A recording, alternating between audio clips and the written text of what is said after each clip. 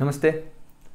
ઘણા લાંબા સમય પછી અપલોડેડ વીડિયો આઈ હોપ કે બિન સચિવાલય ક્લર્કની જે મિત્રો તૈયારી કરે છે. એની તૈયારી ફૂલ જોશમાં ચાલતી હોય.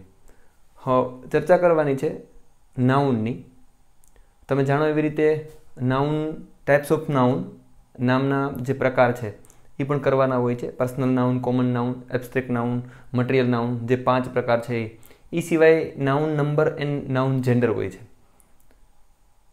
આજનો ટોપિક આ પ્રકારનો છે ઇંગ્લિશ ગ્રામરમાં કે તમે ઇંગ્લિશ ગ્રામરના પ્રિન્સિપલ નથી જાણતા, કોઈ પણ નિયમો નથી જાણતા, છતાં પણ ઇંગ્લિશ ગ્રામરમાંથી માર્ક્સ મળી શકે એવો મુદ્દો છે. તો જે મિત્રોનું ઇંગ્લિશનું લેવલ અત્યારે તમને થોડુંક ફિયરફુલ લાગતું હોય તો અહીંયા થોડુંક ધ્યાન આપશો તો પોસિબલ છે કે એક માર્ક્સ ત્યાંથી મળી રહે. કેમ કે મુદ્દો છે નાઉન નંબર જેને એવી રીતે ઇંગ્લિશ ગ્રામરમાં જોઈએ તો નંબર એટલે આપણે આંકડા સંખ્યા કહીએ બટ ગ્રામરની દ્રષ્ટિએ નાઉન નંબરનો અર્થ થશે નામનું વચન.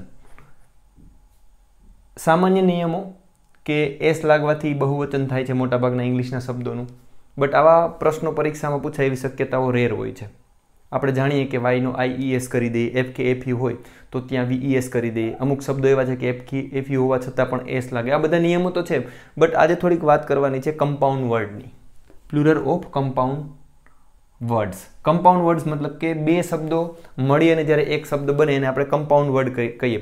દાખલા તરીકે એક શબ્દ હોય કે ફ્રેન્ડ છે, તો ફ્રેન્ડ મતલબ કે મિત્ર અને એક બોય અલગ શબ્દ છે બોય એટલે છોકરો. બટ બંને શબ્દ મળીને એક અર્થ ઉત્પન્ન કરે બોય ફ્રેન્ડ તો આવા શબ્દો કે જે કમ્પાઉન્ડ વર્ડ છે. આપણે જાણીએ કે ફેન છે, તો ફેનનું બહુવચન કરશું આપણે ફેન્સથી બટ કમ્પાઉન્ડ વર્ડ હોય, ત્યારે આપણે એક મુશ્કેલી એવી ઊભી થાય છે કે એકથી વધારે શબ્દો છે અથવા તો બે શબ્દો છે, તેમાં બહુવચન ક્યાં લગાડવું? એસ કે ઈએસ આપણે ક્યાં લગાડવું? આ એક પ્રશ્ન થતો હોય છે. તો અહીંયા થોડુંક વધારે ફોકસ કરજો, કેમ કે એવા શબ્દો પણ જોવા મળશે કે જે પરીક્ષામાં બેથી ત્રણ વખત પૂછાયેલા છે.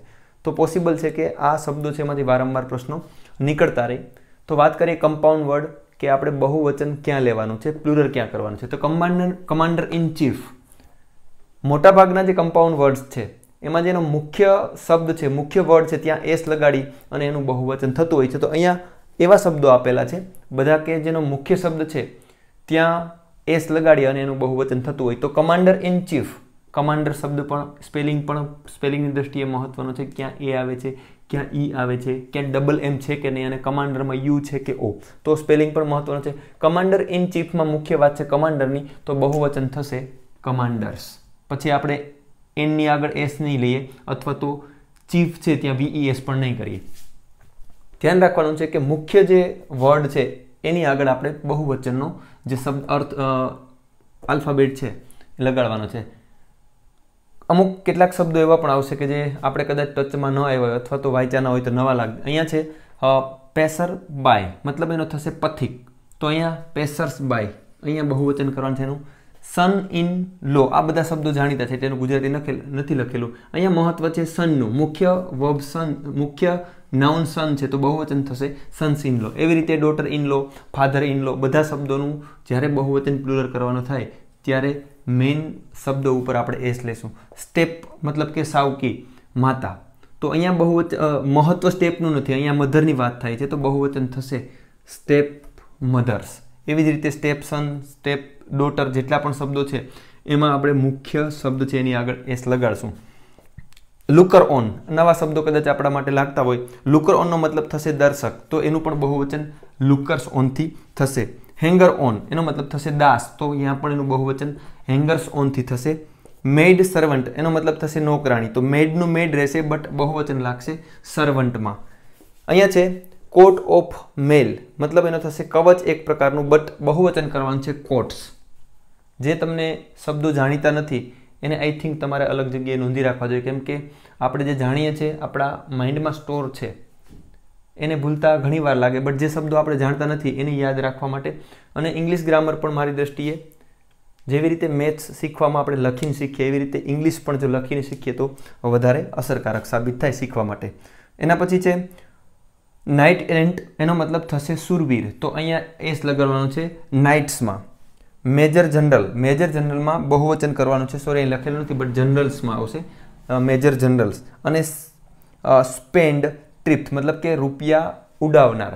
જે કોઈ પણ મર્યાદા વગર રૂપિયાનો બગાડ કરે છે, એકદમ ઉડાડે છે, એના માટેનો શબ્દ છે, તો ત્યાં પણ છે થ્રિપ્સ્ટ અહીંયા બહુવચન કરવાનું છે. તો કેટલાક શબ્દો હતા એવા કમ્પાઉન્ડ વર્ડ કે જેનો મુખ્ય જે શબ્દ છે, એમાં એસ લગાડી અને બહુવચન કરવાનું છે. નેક્સ્ટ અહીંયા કેટલાક એવા જે ડસ્ટર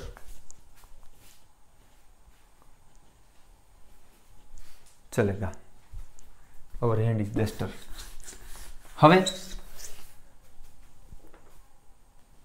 અહીંયા સુધીના પાંચ જે વર્ડ આપેલા છે, શબ્દો આપેલા છે અહીંયા માત્ર ને માત્ર પ્લુરલ થશે મેનનું મતલબ કે એમ એ એન છે તો એનું એમ ઈ એન થઈ જશે. કિન્સમેન મતલબ એનો થશે સગા. નોબલ મેન આ શબ્દો તમે જાણીતા છે એટલે મેં ગુજરાતી નથી લખ્યું. નોબલ મેન બહુવચન નોબલ્સ મેન નહીં થાય. માત્ર ને માત્ર એ છે. માત્ર ને માત્ર મેનનું બહુવચન થઈ જશે. ઇંગ્લિશમાં એ અને ઈ બંને એ તરીકે પ્રયોજાતા હોય છે અને ઈ તરીકે પણ પ્રયોજાય. અહીંયા પણ મેન બોલાશે, અહીંયા પણ મેન બોલાશે. ફ્રેન્ચ મેન મતલબ કે ફ્રેન્ચનો જે વ્યક્તિ છે. ફ્રેન્ચ મેન તો બહુવચન થશે માત્ર ને માત્ર એમ ઈ એનમાં ડચ ડચમેન અહીંયા પણ બહુવચન M A N M N statesmen અહીંયા પણ બહુવચન થશે માત્ર ને માત્ર મેનમાં હવે આ પાંચ શબ્દોને આપણે એવી રીતે યાદ રાખીએ કે એમ એ એનનું માત્ર એમ ઈ એન કરવાનું છે. બટ મારી દ્રષ્ટિએ બહુ જ મહત્વના એવા આ વર્ડ છે વર્ડ્સ છે, શબ્દો છે.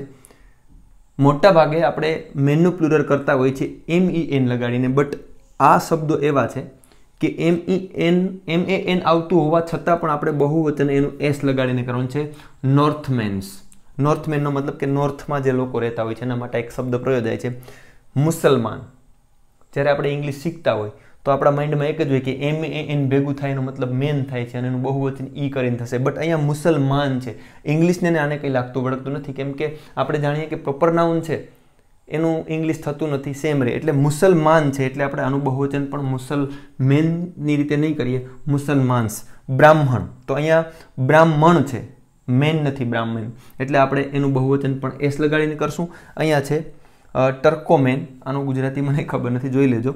ટર્કોમેન્સ. તો આ સ્પેલિંગ એવા છે કે એમાં એમ એ એન આવતું હોવા છતાં પણ એસ લગાડીને એનું પ્લુરલ કરવાનું છે. રાઈટ ડાઉન ઇટ હવે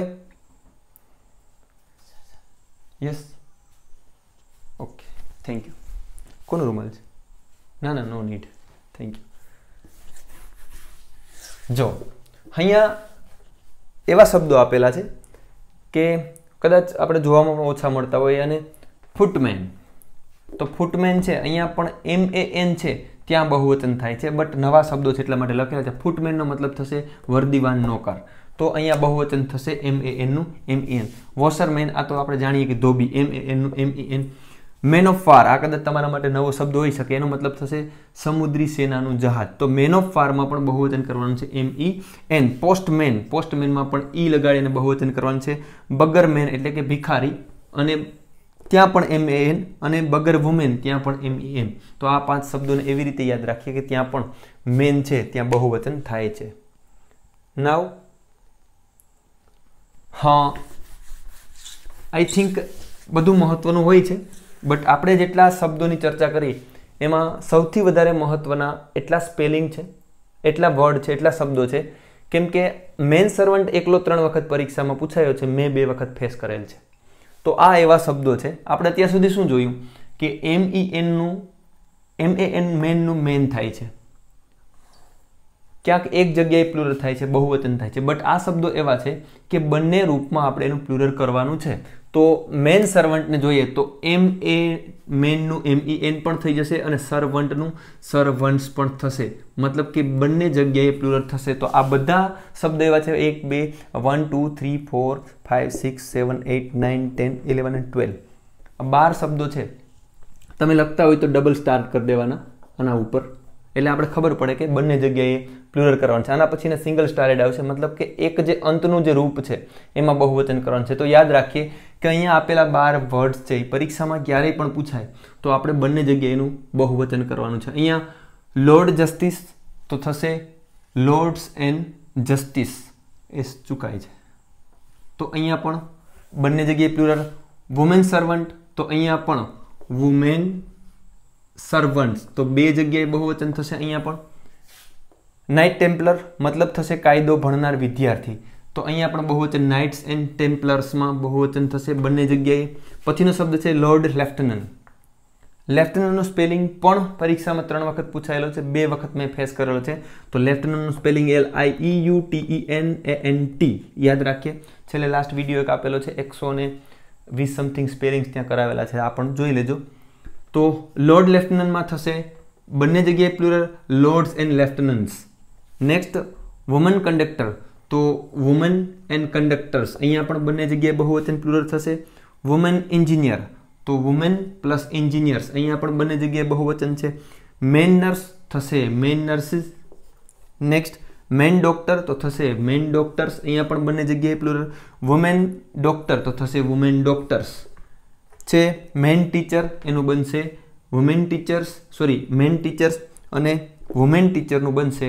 વુમેન ટીચર્સ તો એવા શબ્દો છે કે જે એવી રીતે પણ યાદ રાખી શકાય કે ડબલ સ્ટાર એડ છે.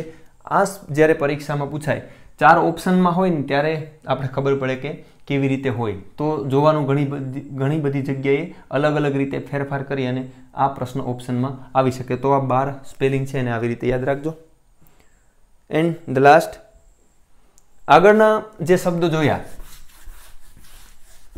એ બધા શબ્દોમાં એવું હતું કે બંને જગ્યાએ બહુવચન થશે બંને રૂપમાં.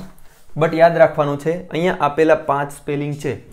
આ પાંચ સ્પેલિંગ સિંગલ સ્ટાર છે. સિંગલ સ્ટારેડ છે. અહીંયા બહુવચન માત્ર ને માત્ર અંતે જે રૂપ આપેલું છે, ત્યાં કરવાનું છે. મેન ઈટર છે, તો મેનનું ઈ નથી કરવાનું. માત્ર એક જ જગ્યાએ બહુવચન થશે. વુમેન લવર તો વુમેન લવરમાં લવર્સમાં માત્ર બહુવચન આવશે. મેન લવરમાં પણ મેન લવર્સમાં બહુવચન આવશે મેન હેટરમાં મેન હેટર્સમાં આવશે અને વુમન હેટરમાં વુમન હેટર્સમાં આવશે. તો અહીંયા યાદ ખાસ રાખવાનું કે આ પ્રકારના સ્પેલિંગ પૂછાય તો એમ ઈ એન નથી કરવાનું, કેમ કે સિંગલ સ્ટારેડ છે, એક જ જગ્યાએ આપણે પ્લુરલ કરવાનું છે. અને કેટલાક શબ્દો છે બુકમાં મહત્વના તત્વ લઈ લીધા છે. આ પણ કમ્પાઉન્ડ વર્ડ કે કહેવાય કેમ કે સ્પૂન અને ફૂલ. બે મળી અને બને છે. સ્પૂન ફૂલ મતલબ કે ચમચી ભર આવા બધા શબ્દો છે. ગ્લાસ ભર મુઠ્ઠી ભર કપ ભર અહીંયા કપ ફૂલાવવું હોવું જોઈએ. તો આવા જ શબ્દો કમ્પાઉન્ડ તમને એક્ઝામમાં જોવા મળે, તો અહીંયા પણ માત્ર ને માત્ર અંતે એસ લગાડી અને એનું પ્લુરર કરવાનું છે. તો આ હતું કેટલાક કમ્પાઉન્ડ વર્ડ્સનું પ્લુરર હજુ લેટિન અને ગ્રીક વર્ડ્સ અને બીજા પણ કેટલાક મહત્ત્વના શબ્દો છે, એના વિશે નેક્સ્ટ વિડીયોમાં ચર્ચા કરશું. તૈયારી પૂરજોશથી કરતા રહો. All the best thank you